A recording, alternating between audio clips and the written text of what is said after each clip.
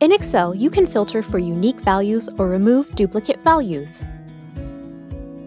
To filter, select Data, Advanced. Select the filter list In Place.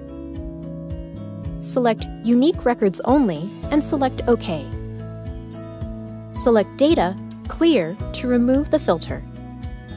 Before you remove duplicates, it's a good idea to copy the original cells to another worksheet. Select Data, Remove Duplicates. Select the columns that contain duplicates. Select OK and check your results.